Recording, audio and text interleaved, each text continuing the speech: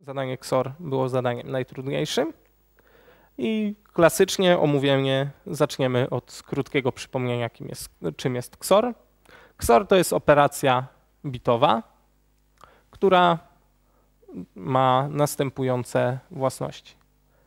Z dwóch fałszy oznaczamy je jako zera, dostajemy 0. Z fałszu i prawdy dostajemy prawdę, z prawdy i fałszu otrzymujemy prawdę i z dwóch prawd otrzymujemy fałsz. Oznacza się to, znaczy językowo odpowiada temu słowo albo, chociaż niektórzy mogą się kłócić. No ale tak to działa. Albo to, albo to, no to nie obie rzeczy naraz. No i wiemy już, jak działa XOR dla prawdy i fałszu, jak działa XOR dla liczb. Jeszcze sobie szybko przypomnijmy. XOR dla liczb działa w ten sposób, że możemy sobie zapisać liczby w systemie binarnym, a następnie na takich liczbach w systemie binarnym wykonywać operację XOR dla wszystkich kolejnych bitów. Na przykład XORem liczby 5, zapisane bitowo 101 i liczby 9 mm, będzie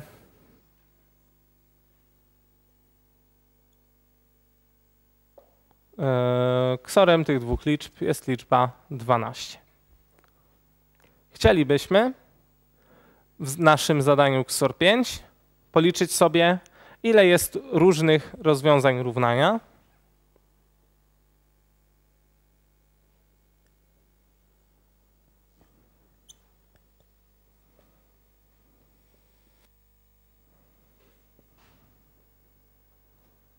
Takiego równania.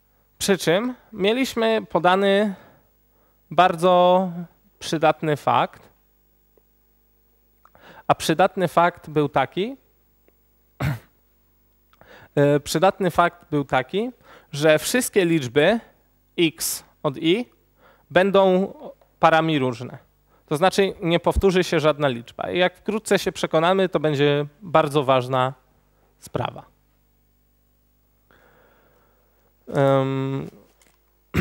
Gdyby mogły się powtarzać takie liczby, to zauważmy, że moglibyśmy mieć sytuację,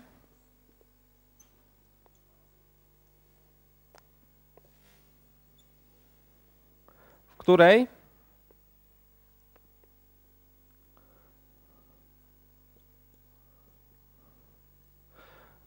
w której xa na przykład byłoby równe xc. No więc zasadniczo moglibyśmy mieć taki przypadek. Równie dobrze. Mamy xa XOR xb równa się xa XOR xd. I teraz pytanie, czy to jest osobny przypadek, co ten? Czy to jest ten sam przypadek? No, zasadniczo ciężko to określić i nie wynika to w oczywisty sposób z definicji zadania.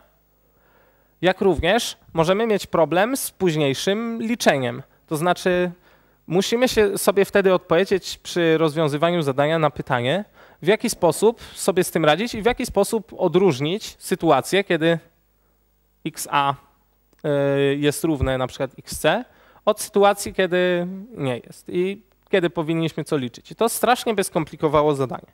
Ale w momencie, kiedy dowiadujemy się, że wszystkie liczby x od i są parami różne, to wiemy, że takich sytuacji nie będzie. Więc gdybyśmy przez przypadek mieli liczyć sytuację, w której xa jest równe xc, to my już z miejsca wiemy, że to jest pomyłka że to by znaczyło, że A jest równe C, a takich przypadków liczyć nie mamy. Także to założenie bardzo nam pomoże, to, że te liczby są różne i pozwoli nam być może zabrać się do rozwiązywania tego zadania. Takie pytanie szybkie ode mnie. Ile może być równe xa XOR xb? Mieliśmy podane w zadaniu, że każda liczba xi będzie mniejsza lub równa 15 tysięcy. No a Skoro XOR to jest, jak niektórzy twierdzą, dodawanie bez przenoszenia. Dlaczego dodawanie bez przenoszenia? No bo dwa zera dają nam 0, dwie jedynki dają nam 0, tak jakbyśmy robili dodając i wtedy dopisywalibyśmy tutaj dodatkową jedynkę, ale przy ksorowaniu my zakładamy, że tego nie robimy. No i dodajemy dalej, no i faktycznie dostajemy coś w stylu dodawania bez przenoszenia. Skoro ksorowanie to jest dodawanie bez przenoszenia, no to x i ksor x i plus 1, y, tfu, x y, j na przykład, na pewno jest mniejsze lub równe x i plus xj. To jest taki dosyć oczywisty fakt. I z tego nam wynika, że taka wartość x xb nigdy nie przekroczy 30 tysięcy. Um, jako zadanie domowe może sobie ktoś pomyśleć, bo w przypadku tego zadania i takich danych i założenia, że xi jest mniejszy lub równy 15 tysięcy, możemy nawet zmniej, możemy to ograniczenie zbić i zamiast mówić, że xx, że x XOR xb nie przekroczy 30 tysięcy, możemy sobie spokojnie powiedzieć, że on nie przekroczy 20 tysięcy, albo że nie przekroczy 17 tysięcy, albo nawet gdyby ktoś chciał, to może znaleźć dokładną liczbę, której taki XOR nie przekroczy. Polecam sobie zrobić takie ćwiczenie w domu. No a teraz zajmijmy się już powrotem do zadania i skorzystajmy może z tego faktu, że XOR dwóch liczb na pewno nie będzie powyżej 30 tysięcy. Zauważmy, że jeżeli para liczb daje jakiś konkretny XOR, załóżmy, że on będzie równy y. I druga para liczb miałaby dać ten sam y, to i wiemy, że te liczby są parami różne i w dodatku chcielibyśmy, żeby coś się nam zepsuło. Yy, co będzie nam się chciało zepsuć? Załóżmy, że przez przypadek policzymy sobie coś, czego nie chcielibyśmy. To znaczy, któraś z liczb xc i xd to będzie tak naprawdę liczba xa. Wracamy jeszcze na chwilę do tamtego przypadku. To co się stanie? Jeżeli xa jest równe na przykład xc, możemy założyć, że chodzi jak przykład od xc, to z tego by wynikało, że xb jest równe xd. Ponieważ w tylko jeden sposób możemy dodać, dobrać drugą liczbę, żeby ich XOR wyszedł y.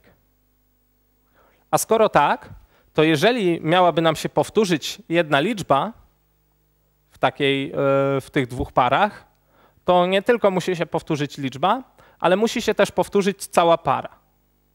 Co znaczy, że tak naprawdę rozwiązując to zadanie dalej, możemy przestać myśleć o pojedynczych liczbach, a zacząć myśleć o parach.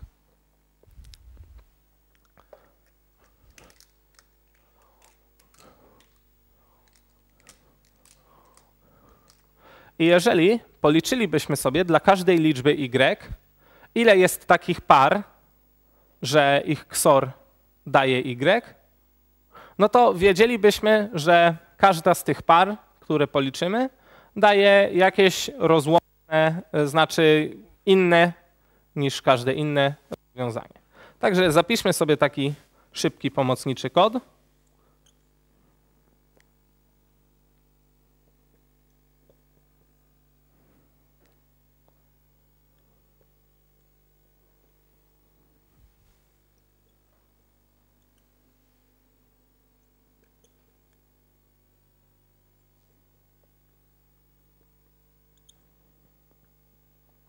Taki kod, takie dwie pętelki pozwolą nam uzyskać wszystkie różne pary liczb A i B.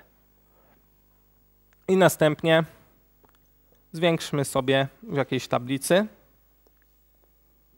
ile jest liczb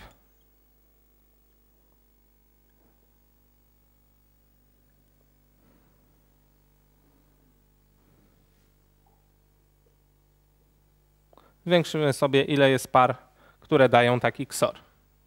No, możemy zrobić coś takiego.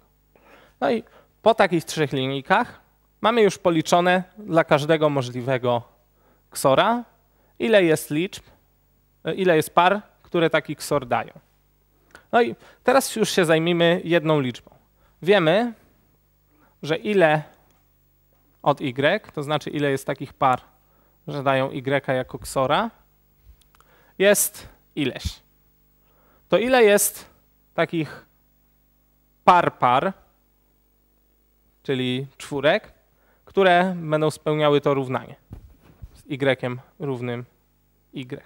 No, odpowiedź brzmi, możemy wybrać dowolne dwie pary z tego ile i wykorzystać je jako rozwiązanie. Skoro tak, no to wybierzmy pierwszą parę. Możemy ją wybrać na ile od y sposobów.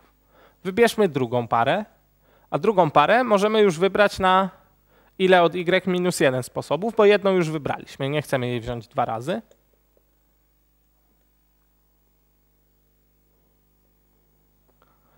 No i jeszcze musimy tylko poradzić sobie z tym przypadkiem, że na przykład mogliśmy najpierw wziąć parę 1, a potem parę 2, a innym razem najpierw parę 2, a potem parę 1, więc musimy poradzić sobie z tym, że każdą parę mogliśmy wybrać na dwa sposoby, więc podzielmy to przez 2 i otrzymujemy już, ile faktycznie mogliśmy wybrać par, par.